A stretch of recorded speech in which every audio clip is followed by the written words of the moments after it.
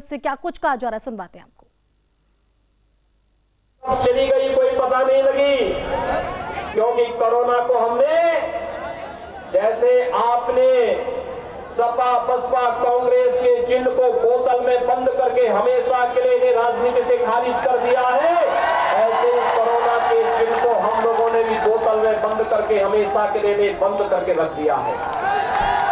और इसीलिए आज मैं आपके पास आया आपसे कहने के लिए फ्री में वैक्सीन सबको वैक्सीन।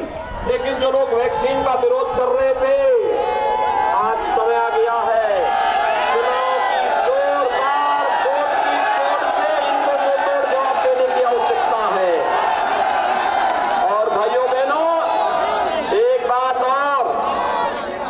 फ्री में वैक्सीन, सबको वैक्सीन तो मिलाई।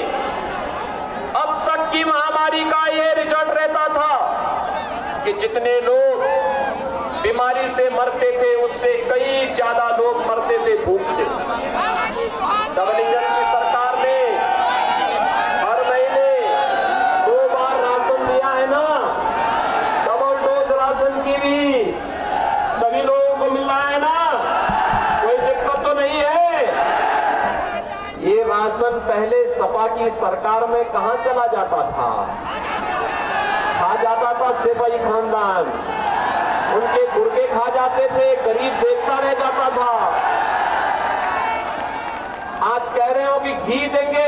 अरे जब मौका मिला था, तब तो सब गरीबों का हजम कर गए थे। आज देंगे कहाँ से? आज तो जनता इस लायक ही नहीं छोड़ रही कि वे दे सके। आज कहते हैं, कानून अच्छा करेंगे। अरे अच्छा तो हम कर ही चुके हैं। आप सोचिए आपने समाजवादी पार्टी के नेताओं का बयान किसी अच्छे कार्य में सराहना करते हुए देखा है क्या कभी?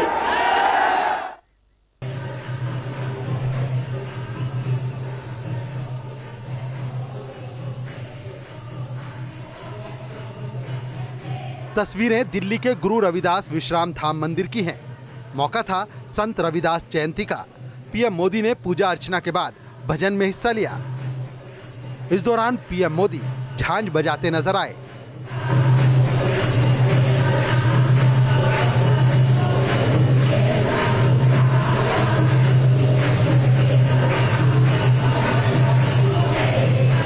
पीएम मोदी ने यहाँ मौजूद लोगों से बात भी की और विजिटर बुक में अपना संदेश लिखा।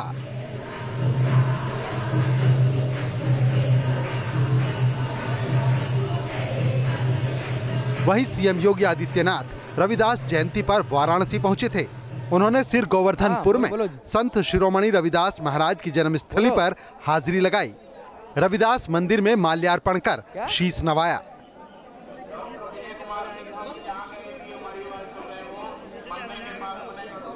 दर्शन पूजन के बाद सीएम योगी ने मंदिर के लंगर भवन में बैठकर लंगर भी छका।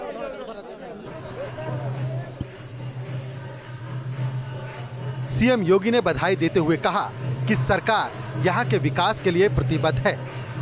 शीर गोवर्धन में पर्यटन विकास की जो अनेक योजनाएँ,